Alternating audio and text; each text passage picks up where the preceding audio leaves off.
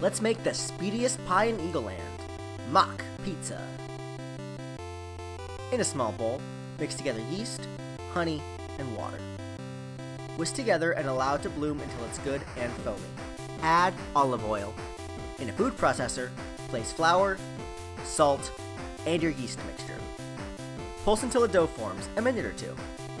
Dump your dough out and knead a minute or two. Place in a bowl and cover and allow to rise until doubled in size, about an hour.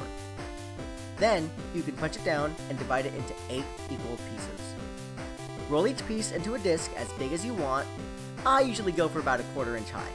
Cook each disc in a nonstick pan a few minutes each side. Then, you can let them cool and place in a zip top bag and keep in the fridge for a week or two. Now, pizza is only moments away! Place a disc on a nonstick surface and lightly oil it. Cover with sauce and toppings as desired and place into a hot toaster oven. Pizza should be ready in less time than it takes to phone your dad and tell him all about your adventures. Slice it up and share with your fellow Wonderkind. This pizza is totally PK fire. Hungry for more? Check out this video. I think you'll like it. Also, be sure to like, comment, and subscribe. Hit me up on social media too. Bye!